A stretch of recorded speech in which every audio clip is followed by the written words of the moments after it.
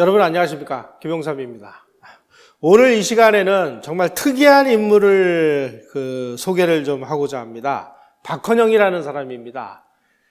여러분 박헌영 아십니까?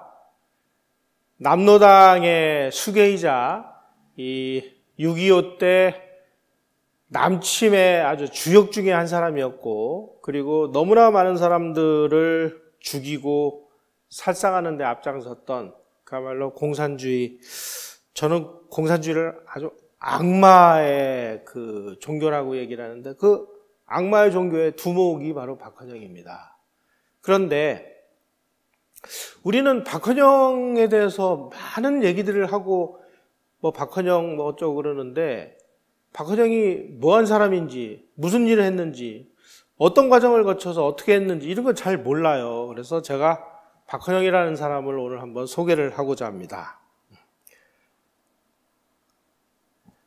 어, 이 사람은 한창 시절에 아주 공산주의의 리더로서 잘 나갈 때는 뭐 조선의 레닌이다 이렇게까지 그 평가를 받았습니다. 그런데 흥미롭게도 이 조선의 레닌이 미국을 가고 싶어서 영어를 공부를 했어요. 이분은 원래 그 충남 예산에서 몰락한 양반 가문 출신의 지주인 박현주라는 사람의 서자로 태어나서 아주 어렸을 때부터 뭐 서자니까 서름을 많이 받았겠죠. 그런 어떤 서자로서의 그 저항의식 이런 것들이 나중에 공산주의로 가는 어떤 그런 역할을 하지 않았나 하는 생각을 들고, 예. 어, 이 친구가 또 머리는 되게 좋았던 것 같아요. 그 지금의 경기고 그 당시에는 일제 시절에는 경성고등보통학교라고 얘기했는데 여기를 다니면서 그 선교사 언더우드가 운영을 하던 YMCA 영어학당에서 영어를 배웠습니다. YMCA는 이승만 대통령이 여기 또 그 젊은 청년 학감으로도 그 근무했던 그런 데입니다. 서양 문물에 일찍 눈을 떠가지고 미국 유학도 꿈꾸고 그리고 또 기독교 교회를 나가서 또 교회에서 그 인사동에 있는 그 승동교회를 나가서 거기서 또 영어를 배우고 이러던 사람이 나중에 공산주의가 돼가지고 아주 무신론자가 돼서 이 유신론을 또 탄압하는데 또 앞장서고 뭐 이런 그 역할을 합니다.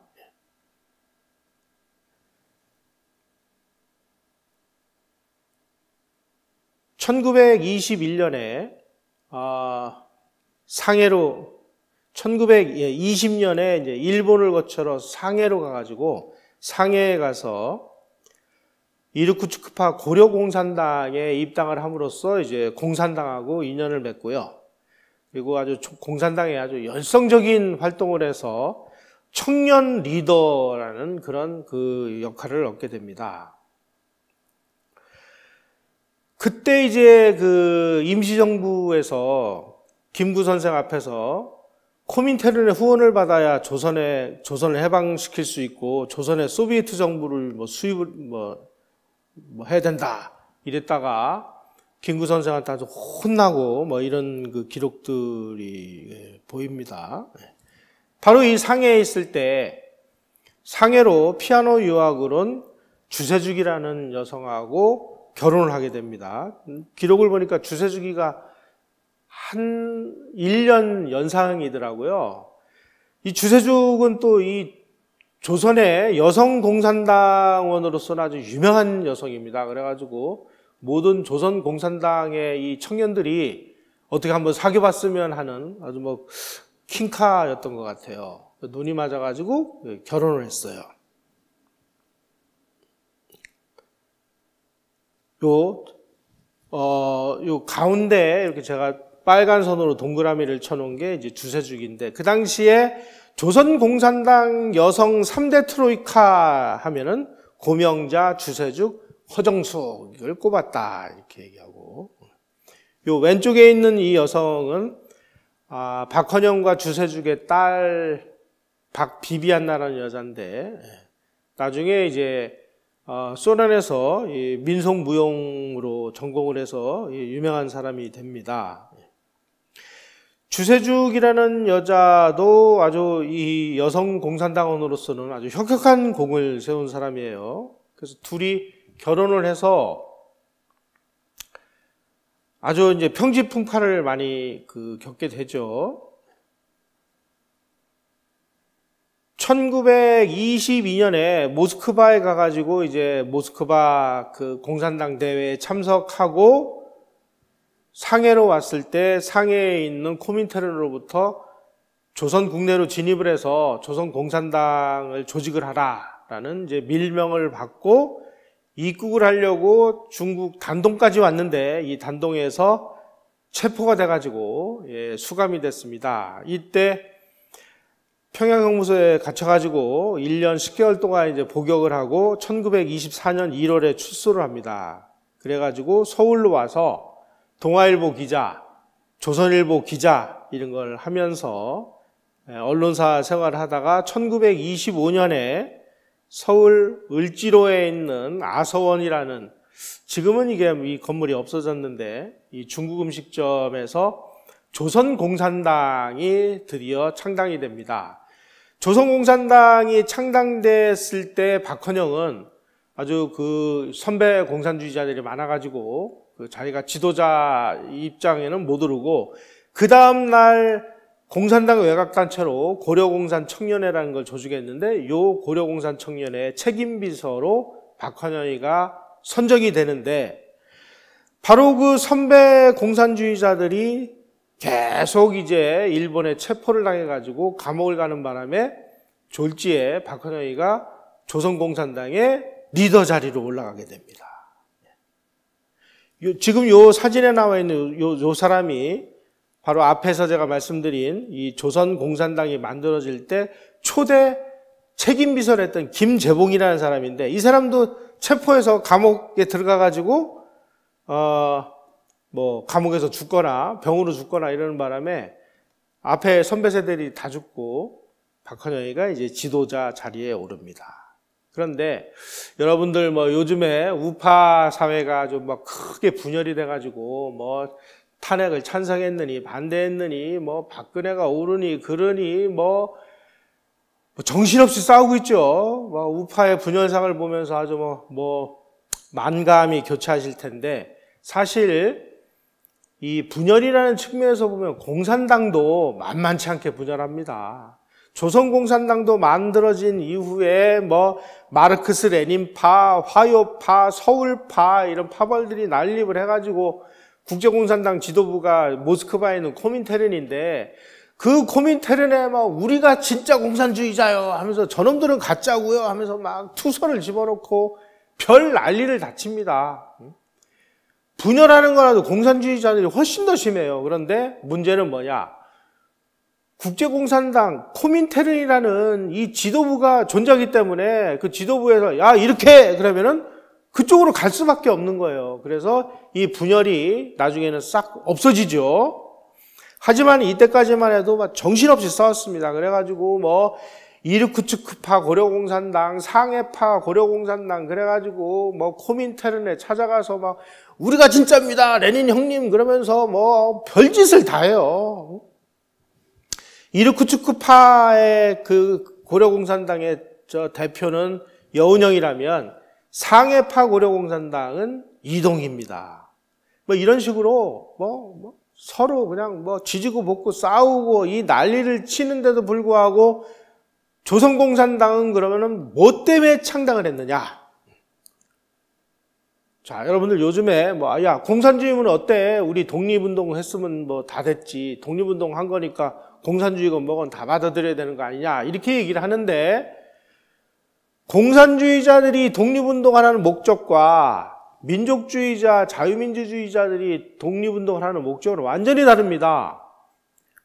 민족주의나 자유민주주의자들이 그 독립운동을 하는 이유는 하나님이 우리에게 주신 천부적인 인권, 개인의 자유 이런 것이 보장되는 사회를 만들기 위해서 독립운동을 하는 거고요. 공산당들의 이 독립운동의 목적은 완전히 다릅니다. 조선공산당은 자기네들이 그 만들어 놓은 문건에 우리는 왜 공산당을 만들었느냐 이렇게 얘기하고 있습니다. 조선공산당은 국제공산당이 그러함과 마찬가지로 그 한 집으로서 그러니까 국제공산당의 집으로서 그러니까 국제공산당, 코민테른의 그 하부기관의 뜻이에요. 폭력혁명에 의거하여 공산주의 건설을 목적으로 하는 것임은 물론이다. 조선 문제로는 공산당 지도 아래 노동자 농민의 결합에 의하여 공동정선을 전개하고 일본 제국의 통치를 변혁하여 그 사유재산 제도를 부인하려는 데 있다. 사유재산 제도를 부인하는 이 정치 체제를 만들기 위해서 조선공산당을 만들었고 그 조선공산당이 그런 사회를 만들기 위해서 일본으로부터 우리 독립운동을 하는 겁니다. 그러니까 독립운동을 하는 그 지향점과 목표가 완전히 다른 거예요.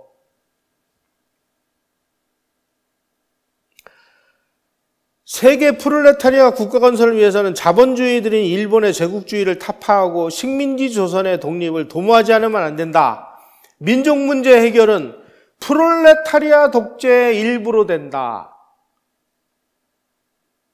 자, 하나님이 인간에게 준 그 천부적인 자유, 생각할 수 있는 자유, 말할 수 있는 자유, 거주 이전의 자유, 개인 재산을 모으거나 쓸 수 있는 자유, 말할 수 있는 자유, 언론 출판의 자유, 집회 결사의 자유, 이런 하나님이 주신 천부의 권리를 보장해주는 사회를 만들기 위한 국가 건설이 아니고 프롤레타리아 독 축제를 위해서 독립운동을 한 겁니다.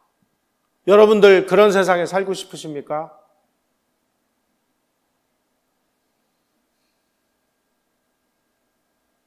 프롤레타리아 독재로의 민족운동을 원조함은 물론이고 전술로서 민족주의 단체와 제휴해서 이를 이용한다. 지금 이런 짓들을 하기 위해서 공산당을 만든 거예요. 그럼에도 불구하고 이런 목적을 가지고 프롤라타리아 독재와 사유재산 제도를 부인하는 그런 공산사회를 만들기 위해서 독립운동을 한 것들도 지금 다 대한민국 건국 훈장을 받았습니다. 아까 제가 말씀드린 박헌영의 부인 주세죽도 건국 훈장, 애국장을 받았어요. 이 사람이 대한민국 건국에 벽돌 한 장을 쌌습니까? 뭘 했습니까? 박헌영이도 대한민국 건국 훈장을 주려고 그러다가 우파 사람들이 난리를 쳐가지고 지금 눈치를 보고 못 주는 거일 뿐이죠. 이제 박헌영이가 대한민국 건국 훈장을 받는 날, 대한민국은 소멸되는 날입니다, 여러분. 지금 이런 일들이 벌어지고 있어요.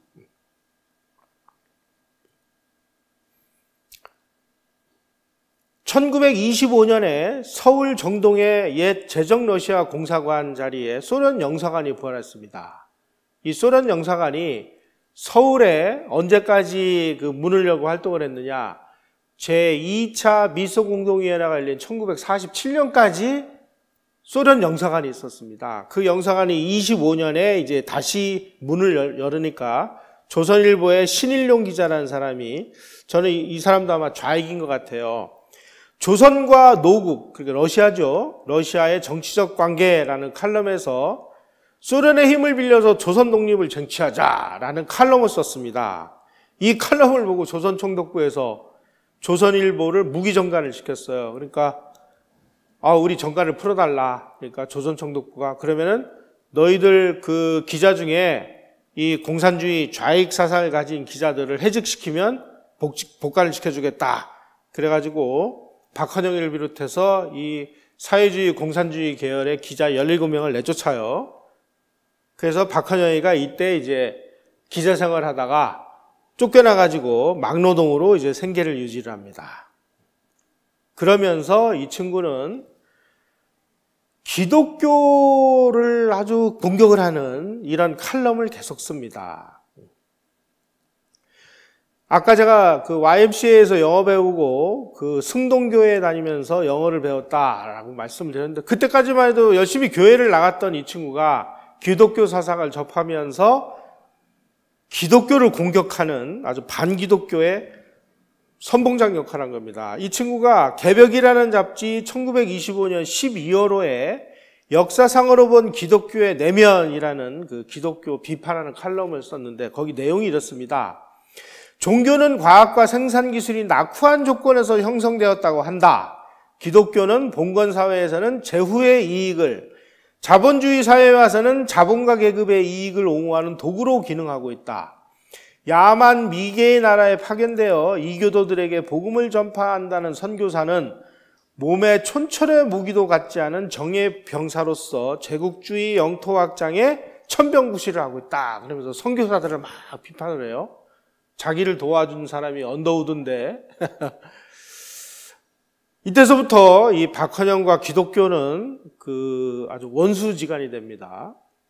저는 요즘에 이 기독교 신자 내지 기독교 목사 중에 공산주의를 그 신봉하고 공산주의를 주장하는 사람들이 많다는 얘기를 들으면서 아니 어떻게 무신론자인 그 저 공산주의를 기독교 목사님들이 좋아한다니 저는 이게 도대체 좀 이게 맞는 얘기인지 잘 모르겠어요. 그리고 요즘에 뭐 들리는 얘기하면은 우리나라 이 소위 말하는 목회자들을 그 기른다는 이런 그 신학교가 다 좌경화됐다. 말이 좌경하지 이거 공산주의화 됐다는 얘기 아닙니까? 그 이게 무슨 말인지 아니 기독교와 공산주의는 이 극과 극인데 이게 어떻게 이런 일이 벌어질 수 있는지에 대해서 저는 잘 모르겠습니다. 1925년 11월 25일 날 이제 조선공산당이 만들어졌다는 첩보를 입수한 일본 그 경찰들이 아주 눈에 불을 켜고 공산주의자들 체포하기 위해서 돌아다니다가 문건이 발견이 돼가지고 추적을 해서 박헌영하고 부인 주세죽을 체포를 해요. 신의주에서. 그런데 부인 주세죽은 이제 증거 불충분으로 석방을 했어요. 그런데 박헌영이는 그때 막 공판 과정에서 막 울고 괴성을 지르고 또 감옥에 갇혀가지고는 자기 막 인분을 막 벽에 바르고 자기가 일을 본 변을 막 자기가 집어먹는 이런 일종의 정신병자, 정신이상자 행세를 해가지고 도저히 이 친구는 수감 생활이 불가능하다 그래가지고 정신이상자로 판결을 받아가지고 1927년 9월 13일 날 석방이 됩니다. 요 사진이 그때 정신이 상자 행세를 하면서 석, 병보석으로 석방되는 사진이고요. 그 왼쪽에 있는 여성이 주세죽입니다. 그래서 자기 부인의 고향이 함흥이었는데 함흥에 가서 정양을 한다고 하면서 거기서 숨어 있다가 1927년 11월 22일 날 병보석을 얻어서 석방이 됐는데 함흥에서 이제 그 정양을 한다고 하면서 거기서 어디로 사라져 가지고 두만강을 건너서 블라디보스톡으로 탈출을 했어요. 그때 블라디보스톡으로 탈출을 할 때 두만강을 건넜는데 그 두만강을 건너는 장면을 뭐 누군가 보고서 뭐 눈물 젖은 두만강을 만들었다 뭐 이런 그 눈물 젖은 두만강 노래 아시죠? 그게 뭐 박헌영이가 모티프가 됐다라고 하는데 이거 뭐 사실인지 아닌지 전 잘 모르겠습니다. 이런 얘기들은 계속 떠들고 있는데 이 노래를 만든 분들도 다 돌아가시고 이 노래를 부른 분도 돌아가셔서 진위를 지금은 잘 모르겠어요. 근데 이런 얘기들은 계속 떠들고 있습니다. 바로 이 사진이 블라디보스톡에서 탈출해서 모스크바로 가기 이전에 블라디보스톡에 있는 어떤 그 공원에서 찍은 사진으로 알려져 있습니다. 그래서 뭐 일설에는 블라디보스톡에서 시베리아 횡단 열차를 타고 모스크바로 가는 뭐 그 와중에 딸 뭐 아까 제가 사진을 보여드린 그 딸 이름이 박비비안나라는 사람인데 그분을 뭐 뭐 기차안에서 났다 그러는데 뭐 자세히 모르겠어요. 이게 뭐 이, 상하게 무슨 실화를 만들려고 뭐 하는 건지 기차 안에서 애를 낳다는 게 그, 참 말처럼 쉬운 일은 아닌데 뭐 어쨌든 그렇게 해서 블라디보스톡에서 모스크바로 이동을 해서 모스크바에서 박헌영의 조선일보 동기인 김다냐라는 사람의 도움을 받아가지고 에, 저 국제 레닌 대학교에 입학을 하고 주세죽은 동방 근로자 대학이라는 곳에 입학을 해서 공산주의 교육을 받습니다. 여러분 지금 조선일보를 보면요. 일제 시절에 조선일보는 완전히 빨갱이들의 소굴이었습니다. 요즘에 조선일보 뭐, 뭐, 정신 차린 것 같다고들 얘기를 하는데, 제가 볼 때 조선일보는 아직도 모른 것 같아요. 1929년에 박헌영이가 소련 공산당에 입당을 합니다. 그리고 그 당시 박헌영이가 국제 레닌 학교에 다닐 때 베트남의 공산당 지도자 호치민이가 그 당시에 모스크바를 와서 국제 레닌 대학에서 박헌영이하고 같이 공부를 했습니다. 이때 박헌영이는 한국어, 일본어, 영어, 중국어를 그 잘 구사를 했다고 그래요. 그러니까 머리가 좋아가지고 그랬던 것 같아요. 그런데 러시아어는 잘 몰라가지고 국제 레닌 학교에서 영어로 강의를 하는 영어반에 소속이 돼서 공산주의를 공부했다. 이런 기록이 있어요. 그리고 코민테른의 동양비서부 조선위원회 위원이 돼서 조선 문제, 다시 말씀드리면 조선을 공산화하는 그리고 조선 공산당들에 대한 지도와 감독을 할 수 있는 그런 지위에 박헌영이가 오르게 됐습니다. 그리고 상 이제 그 모스크바에 있을 때 요게 이제 박헌영, 주세죽 그리고 그 깐나라기 딸 박비비안나인데 1931년 3월 3일 날 코민테르로부터 두 사람은 상해로 가서 조선공산당을 지도를 하라 이라는 지령을 받고 상해로 오는데 딸을 모스크바에 있는 유관에다가 맡겨두고 자 이거 보면 참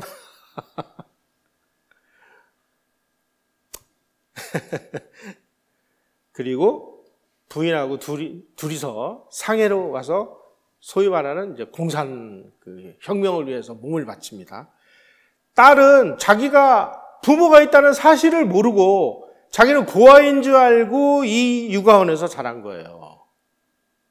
여러분, 공산주의자들 이거 간단치 않습니다. 바로 이 박헌영과 이 주세주기가 상해에서 체류하던 무렵에 1932년 4월에 윤봉길 의사가 홍궁원에서 도시락 폭탄을 던져가지고 일본 그 뭐 대장 이런 사람들을 죽이고 하는 아주 그 의거가 일어나죠. 그래가지고 이때 사건이 벌어지니까 이 박헌혜가 윤봉길을 아주 그 심하게 비판을 해요. 아니 민중의 계급적 각성과 연대가 전혀 뒷받침되지 않았는데 윤봉길 저 혼자 이게 그 영웅이 되자고 말이야 폭탄을 던져가지고 우리 공산주의 활동에 이런 그 해를 끼치다니. 왜냐하면 이 폭탄 던진 사람이 조선 사람이니까 알려져가지고 뭐 조선 사람들은 다 잡아다가 조사를 했거든요. 그래서 윤봉길의 의거를 박헌희가 아주 비판을 많이 합니다. 그러니까 이 공산당들은 진짜 독립운동을 하는 사람들을 굉장히 미워하고 싫어해요. 자기네들하고 목적이 다르잖아요. 아까 제가 말씀드렸지 않습니까? 이 사람들은 프롤레타리아 독재를 위해서 그리고 사유재산 제도를 말살시키는 그런 정부를 위해서 독립운동을 하는데 이런 진짜 민족주의자나 자유민주주의자들은 하나님이 주신 천부의 인권이 보장되는 나라를 만들 그리고 목적이 다른 거예요. 그러니까 이 윤봉길 의거도 이 공산주의 입장에서는 이렇게 극악무도하게 비판을 하는 거죠. 그러다가 1933년 7월 5일 날 상해부두에서 박헌영이가 체포가 돼가지고 서울로 압송이 됩니다. 그래가지고 징, 징역 6년형을 선고받아요. 그래서 감옥에 갔어요. 그런데 거기에 주세주기가 혼자 남아있다가 아까 말씀드린 그 박헌영의 친구 김다녀하고 눈이 맞아가지고 둘이 모스크바로 도망을 가지고 둘이 재혼을 합니다. 그때 김다냐, 요, 요 사진 요 친구가 김다냐인데, 요 친구도 부인이 있었어요. 자기 부인을 버리고, 자기 친구의 부인을 가로채 가지고, 예, 둘이 결혼을 합니다.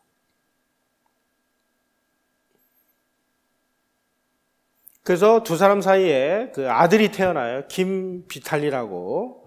그런데 그로부터 4년 후에 1937년에 스탈린의 대숙청이 벌어졌을 때 김다냐가 일본 간첩 혐의로 체포돼 가지고 총살을 당해요.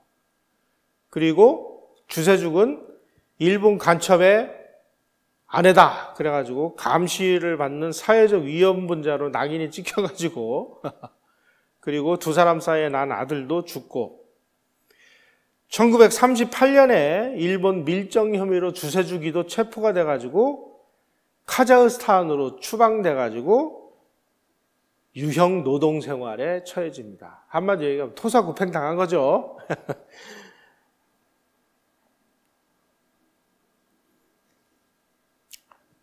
죽으라고 노동을 하고 있는 와중에 해방이 돼가지고 박헌영이는 월북을 해서 북한에 가가지고 북한에 외상이 됐습니다. 외무부 장관이 됐어요. 출세가들 막 달려요. 그래가지고 주세주의가 그 얘기를 듣고 나 지금 그 유배 노동 생활에 이렇게 그 시달리고 있는데 저를 북한으로 좀 보내주십시오 하고 스탈린에다가 여러 차례 스탈린한테 그 탄원서를 냅니다. 그래가지고 스탈린이 이걸 보니까 불쌍하잖아요. 그래가지고 박헌영한테 야, 네 옛날 부인이 너를 찾고 있는데 어떻게 했으면 좋겠냐? 그랬더니 나 그런 줄 모릅니다 하고 내, 쳐버립니다 그래가지고 결국 소련에서 죽습니다. 그때 왜 내쳤느냐? 박헌영한테는 여자가 또 새로 생겼거든요. 윤레나라는 여자. 나이 차이가 25살 나는 그 꽃다운 처녀와 또 다시 결혼을 합니다. 여러분, 그, 아까 주세죽과 박헌영이가 버렸다고 그 딸 얘기를 제가 말씀드렸는데, 딸이 고아처럼 그 육아원에서 자랄 때 그 육아원에서 같이 자란 동기가 누구냐? 모택동의 아들 모안영이라는 친구입니다. 이 친구도 어, 모스크바에 와가지고 그 박헌영이의 딸하고 같이 육아원에서 자랐어요. 그래가지고 이 친구는 커가지고 아버지가 다시 이 아들을 받아들여가지고 중공군이 한국전에 불법 개입을 했죠. 그래가지고 중공군을 따라서 북한에 왔다가 북한에서 그 있던 도중에 어, 미군의 폭격을 맞아가지고 예, 죽었어요. 그때 그 죽었을 때 기록을 보니까 그 당시에 사령관이 불을 피우지 말라고 불 피, 밤에 불을 피우면은 폭격의 그 대상이 된다. 그불 피우지 말라 그랬는데 배가 고파서 불을 피우고 계란 볶음밥을 해 먹다가 폭탄을 맞아가지고 예, 죽었습니다. 모택동은 자기 아들을 챙겼는데 박헌영은 자기 아들을, 자기 딸을 버렸습니다.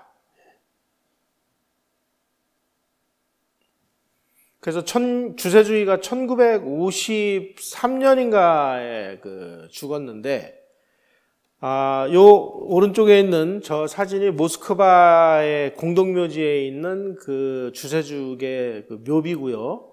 그 묘비 옆에 서 있는 여자가 자기 부모로부터 버림받은 비비안나라는 그 딸입니다.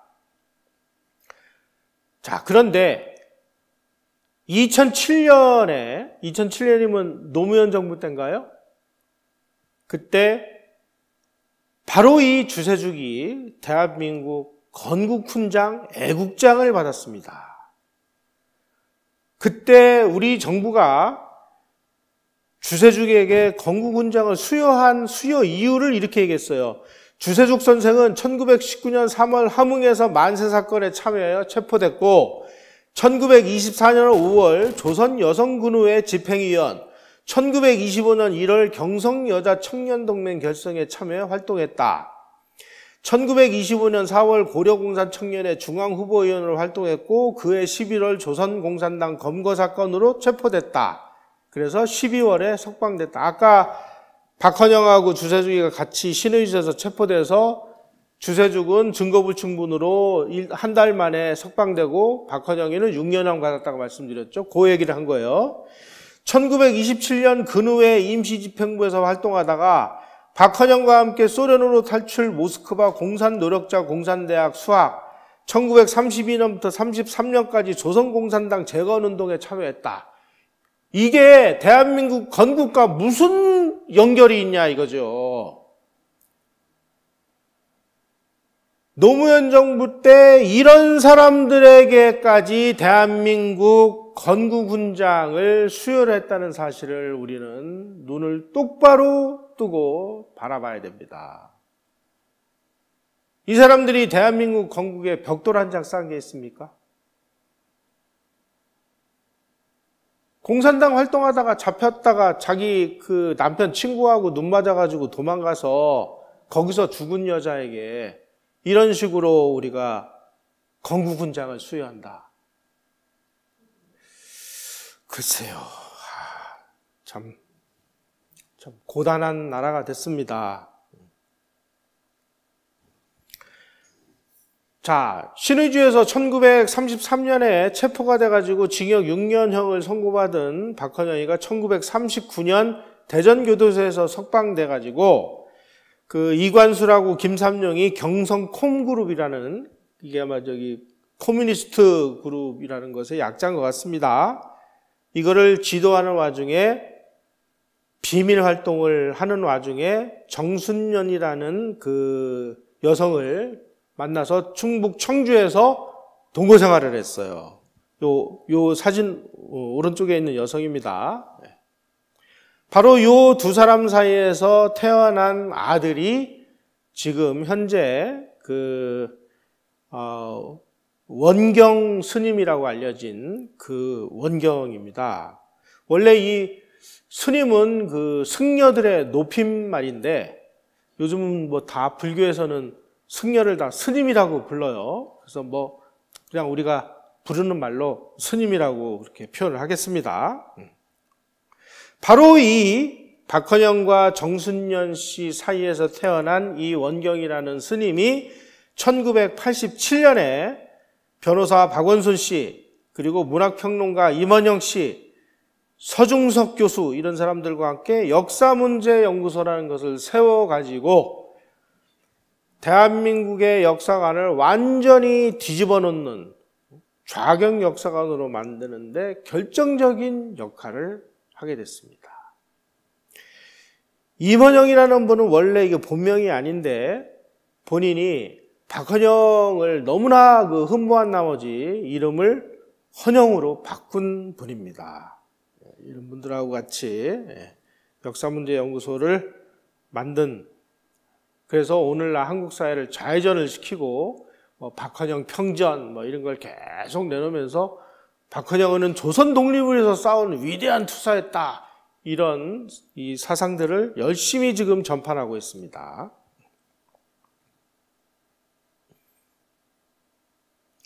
(1941년 2월까지) 청주, 서울, 대전 같은 비밀 아지트를 그 돌면서 지하 운동을 하다가 그 이후에 일본 경찰의 그 감시를 피해 가지고 광주에 있는 벽돌 공장으로 그 숨어들어서 위장 취업을 해서 4년간 벽돌공으로 일하는 중간에 또 한 사람의 여자가 나타납니다. 이 사람이 아, 이순금이라는 여성인데 이분이 광주에 숨어 있는 이 박헌영과 그 당시에 일제 시대에도 서울에 소련 영사관이 그, 그 기능하고 있었습니다.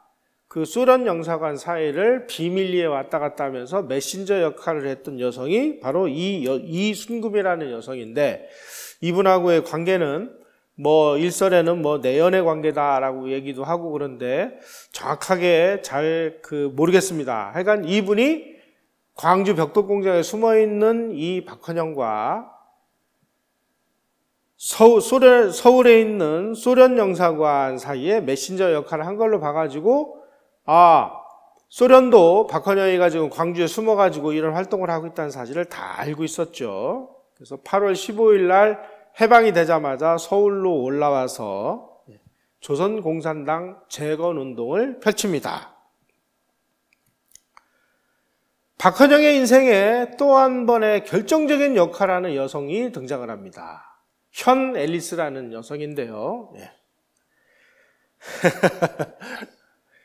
예. 결국 이 박헌영이 이 현 앨리스라는 이 여자 때문에 미국 간첩으로 몰려가지고 이 저 사형을 당하죠. 예. 어, 이현 앨리스하고는 언제 만나느냐?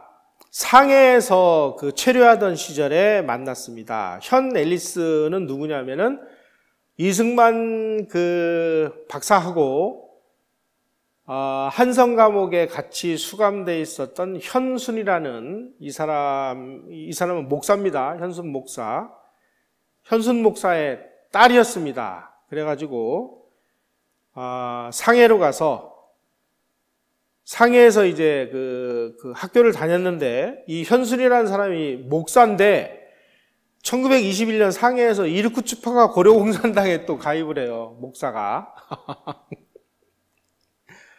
아, 목사가 공산당원이다. 이 참 제가 좀 이해를 하기가 힘든 부분인데 어쨌든 현순이 그 고려공산당에 가입함으로 인해서 박헌영이하고도 이 동지관계가 형성이 되죠. 그때 아마 이 현 앨리스가 박헌영이를 되게 흠모를 했던 것 같아요. 그런데 박헌영이는 이미 주세주하고 결혼을 했잖아요.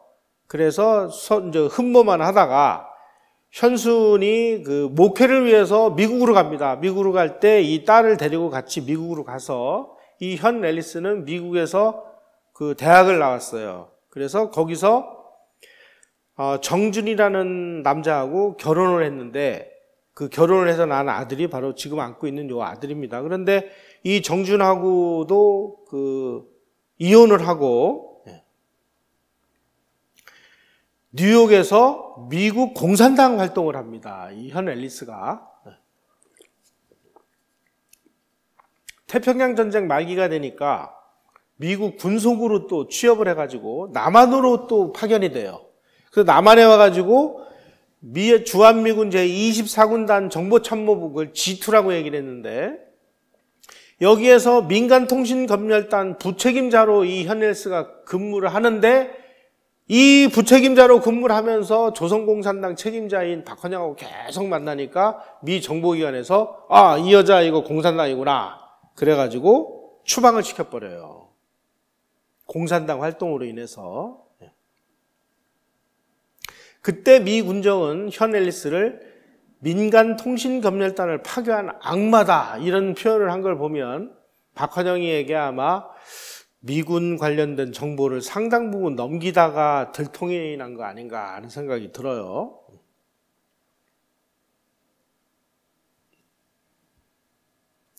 이 현 앨리스는 미국으로 다시 가가지고 미국에서도 계속 공산당 활동을 합니다. 그래서 뭐 재미조선인 민주전선 활동을 하고 LA에서 발간되는 잡지 독립 이런 거에도 참여를 하고 이 잡지가 김원봉이가 만든 조선민족혁명단하고도 관련이 있는 잡지였습니다. 그래가지고 이 독립과 관련됐었던 한국 멤버들이 1949년에 다 월북을 해요 또.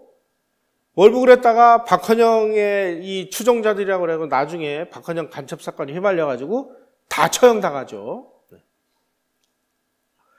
바로 이 현 앨리스가 어, 미국에서도 계속 공산당 활동을 하다가 체코에 거주하는 이 한홍수라는 이 고고학자가 있었는데 이 고고학자를 통해서 북한하고 연락이 다 가지고 어, 체코를 통해서 체코에 나와 있는 북한 대사관을 통해서 현 앨리스가 월북을 합니다. 요게 그때 그 체코에 와서 북한으로 망명을 요청했을 때 현 앨리스의 모습입니다. 그러니까 어떤 면에서 보면은 참 박한영은 재밌죠? 네. 결국은 이 여성과의 이 연계로 인해서 박헌영이가 북한에서 미국 간첩으로 몰려가지고 처형당하는 이런 그 비운을 맞게 됩니다. 이 현앨리스가 미국 생활을 오래 하고 그래서 그 영어에 굉장히 능통을 해서 예, 북한 외상 박헌영의 도움으로 북한 외무성에 근무를 합니다. 그러다 보니까 이 현앨리스가 체코 대사관을 통해서 북한으로 월북을 할 때도 박헌희가 도와줬고 또 북한에 도착하자마자 이 여자를 특채를 해가지고 북한 외무성에다가 근무를 시켰고 그리고 박헌영과 굉장히 가까운 밀접한 관계로 계속 접촉을 하는 이 사실이 결국 나중에 문제가 돼서 박헌영이가 미국의 간첩으로 몰려가지고 예, 처형을 당하죠. 1955년 박헌영이의 재판 과정에서 현 앨리스는 박헌영의 첫 번째 애인이었다. 이렇게 뭐 그 또 증언들이 나오고 그래서 박헌영도 죽고 그리고 현 앨리스도 1956년 미국 간첩으로 몰려가지고 처형을 당합니다. 그리고 이현 앨리스가 낳은 그 외아들, 외아들이 체코에서 의대를 졸업을 해가지고 자기도 북한으로 입국을 하겠다 신청을 했는데 거부를 당하고 따돌림을 당하니까 1963년에 체코에서 자살하는 것으로 삶을 마감을 합니다. 자, 박헌영이도 하마터면은 2007년 무렵에 대한민국 건국 훈장을 받을 뻔했습니다. 제가 최근에 이 해방 이전, 그러니까 일제 하에서 한국인들이 어떤 독립운동을 했는지를 제가 추적하기 위해서 지금 여러 자료들을 지금 공부를 하고 있는 중인데 이 공부를 하고 가만히 자료들을 들여다보니까 그 시절에 공산주의 활동을 하면서 러시아인으로 귀화를 해서 러시아를 조국으로 생각을 하고 러시아를 공산화하기 위해서 죽으라고 앞장섰던 많은 사람들이 있었습니다. 이 사람들은 대한민국의 독립이나 대한민국의 건국이나 이런 거하고는 아무 상관도 없는 사람들이에요. 그 김 알렉산드라 같은 여성들 이런 사람들이 전부 대한민국 건국훈장을 받은 거예요. 야, 그래서 이거 정말 큰일 났다.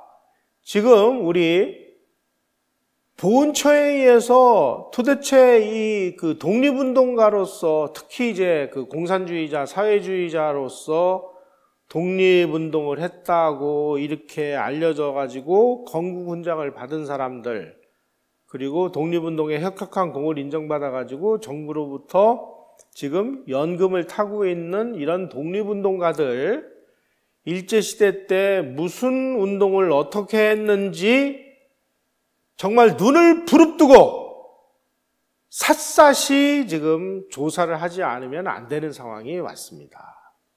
우리가 뭐 어어 하는 사이에 야 그뭐 어? 일제 시대에 뭐 공산당들도 다 독립운동 한 거 아니야. 어? 뭐그 사람들이 도, 공산당이라고 그래서 독립운동 한 거에서 차별은, 차별하면 이거 말도 안 되는 거 아니야. 야, 공산당이지만 독립운동 했잖아! 그러면은, 어, 했나? 뭐, 진짠가? 뭐, 이런 걸 묻지도 따지지도 않고 그냥 막 그 시대 분위기에 휩쓸려 가지고 막 마구잡이로 지금 훈장들이 남발이 돼 가지고 주세죽 같은 이런 사람에게도 지금 건국훈장이 수여된 사실을 우리가 알게 됐습니다. 김 알렉산드라 같은 사람은 소련의 그 공산화를 위해서 열심히 일하다가 총살을 당한 여성이거든요. 그 사람이 도대체 대한민국 건국하고 무슨 관계가 있어요? 한 가지 관계가 있다면 이동희를 소련 공산당 지도자들에게 소개해 준 그런 정도의 인연은 있더라고요. 그거 외에 그냥 소련을 그 러시아하고 저 러시아에서 혁명이 일어나가지고 적백 내전이라고 그래서 공산주의 추종 세력과 자유 러시아 추종 세력이 내전이 벌어졌을 때 소련을 전부 공산하기 위해서 앞장섰던 적군 편에 서서 싸우다가 총살당한 이런 여자에게까지 건국 훈장을 수여하는 편인데 이거 앞으로 이거 어떻게 해야 될지 정말 눈앞이 캄캄합니다. 이제 조만간에 여운형이, 박헌영이 이런 사람들 다 대한민국 건군장 줘야 된다고. 지난 작년인가요? 그 현충일 날 문재인 대통령이 느닷없이 현충원에 가가지고 현충일 날 그것도 김원봉이가 뭐 어? 조선 의용대를 만들어 가지고 뭐 독립운동에 혁혁한 공을 세우고 뭐 우리 국군의 뭐 모태니 뭐니 뭐 이런 뉘앙스의 얘기를 함으로써 평지풍파가 일어났잖아요. 만약에 그 당시에 우리 우파 사회에서 야 김원봉의 정체가 이런 거다라고 막 폭로해가지고 국민 여론을 환기시키지 않았으면 김원봉이도 아마 독립운동가가 돼가지고 그 후손들이 정부로부터 국민 세금으로 예, 연금 받았을 거예요. 지금 이런 상황까지 지금 와 있습니다. 그래서 제가 오늘 그 박헌영 얘기는 이 박헌영이가 이제 북한에 가서 처형된 얘기를 했고 해방 공간에서 박헌영이가 무슨 짓을 했는지 그리고 6.25 남침 과정에서 박헌영이가 무슨 짓을 했는지에 대해서는 제가 별도로 한번 시간을 만들어서 여러분들에게 소개를 해드리도록 하겠습니다. 이 박헌영의 사람이 지은 죄가 저는 김일성 못지 않다고 봅니다. 그럼에도 불구하고 6.25의 남침 과정에서 박헌영이는 아주 결정적인 역할을 했습니다. 그럼에도 불구하고 박헌영이는 6.25의 남침이라든지 이런 거로부터 완전히 지금 어, 죄를 어, 싹 그 면탈 받았어요. 왜 그럴까요? 제 생각으로는 오늘날 한국 사회를 휘어잡고 있는 이 소위 말하는 좌파 민주화 세력이라는 사람들의 뿌리가 아마 남노당하고 다 있는 거 아닌가 싶어요. 그러다 보니까 자기네들의 사상의 은사인 이 박헌영이라는 사람을 남침의 책임으로부터 어, 슬쩍 비껴나도록 여론 공작을 한 거 아닌가.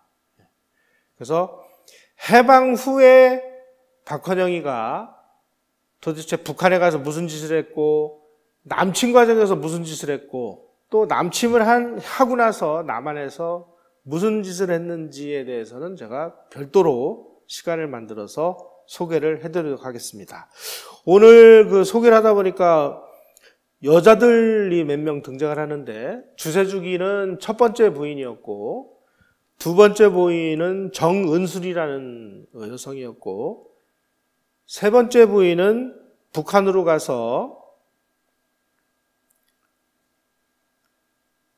김일성의 축하를 받아가면서 결혼을 한 이 사람이 그 윤레나라는 여성인데 윤레나라는 여성은 박헌영이가 어, 해방 후에 조선공산당 간부로 활동을 할 때 그 비서 역할을 했던 여자고요.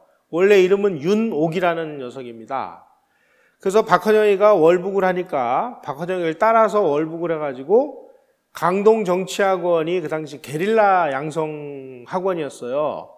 그 강동 정치학원에 가서 게릴라 훈련을 받다가 박헌영이가 다시 외무장관이 됐을 때 비서로 채용했던 여자인데 그 여자하고 25살의 나이 차이를 무릅쓰고 결혼을 했습니다. 그래가지고 아들하고 딸을 낳았어요.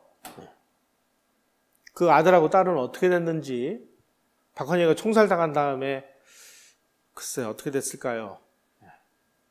그리고 이 정순년이라는 여성과의 사이에 태어난 아들은 지금 스님이 돼서 한국 사회를 좌회전시키는데 아주 결정적인 역할을 지금도 하고 계신 걸로 알고 있습니다. 그리고 또 한 여성, 상해에서 만난 이 현순 목사의 딸 현 앨리스가 월북을 해서 이 여성을 외무장관 시절에 같이 일을 하게 함으로 인해서 박헌영이는 자기가 소련 간첩으로 몰려가지고 처형을 당했습니다. 공산주의자들 왜 독립운동을 했는지 아까 제가 좀 말씀을 드렸는데 우리가 독립운동 한 건 다 똑같은 독립운동 아니냐라고 주장하는 사람들에게 이런 논리로 저는 꼭 그 반박을 해야 된다고 생각을 합니다. 공산주의자들이 독립운동을 하려고 하는 목표와 민족주의자나 자유민주주의자들이 독립운동하는 목표는 천양지차로 달랐다. 이것을 동일한 선상의 독립운동으로 인정을 하면은 지옥과 천당이 동일한 거다라고 주장을 하는 거나 마찬가지다. 그러면 천당과 지옥이 없으면 뭐가 돼요? 선과 악이 없으면 지금 우리는 이런 식의 소위 말하는 물타기 거짓말에 휘말려 가지고 우리의 이 정통성이 그야말로 지금 형체를 알아볼 수 없을 정도로 엉망진창이 된 이런 상황에 살고 있습니다. 이럴 때일수록 우리는 정신을 차리고 아 역사적 사실은 이런 거구나 하는 것을 우리가 공부를 해서 깨닫는 수밖에는 이 난국을 돌파하는데 더 좋은 무기는 뭘까? 여러분 공부하는 투쟁이 가장 위대한 투쟁입니다. 열심히 공부하십시오. 고맙습니다.